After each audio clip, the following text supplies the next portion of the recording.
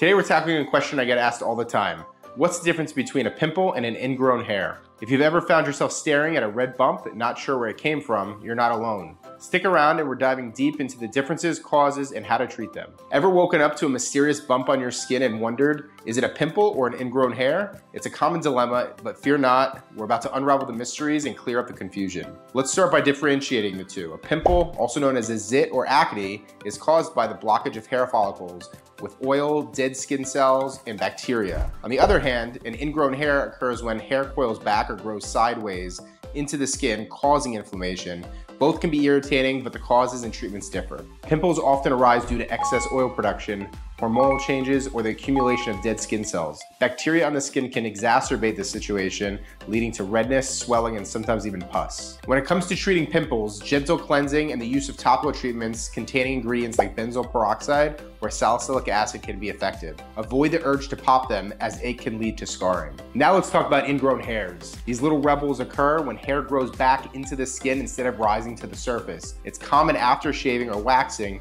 because the tip of the hair can pierce the skin, causing inflammation and those familiar red bumps. For ingrown hairs, exfoliation is key. This helps remove dead skin cells and allows the hair to break through the surface. Warm compresses could also soothe the area, which reduces inflammation. And if the ingrown hair persists, a dermatologist like myself can assist in the safe extraction of these hairs. Now a word of caution overzealous popping or aggressive extraction of ingrown hairs can lead to infection and scarring.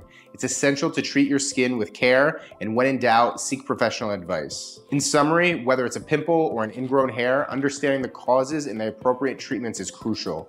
Now you can face these bumps head on with confidence. If you're dealing with persistent skin problems or need personalized advice, reach out to us. Call us at 718 491 5800 or visit us online at sinyderm.com. Your skin deserves expert care and we're here to guide you.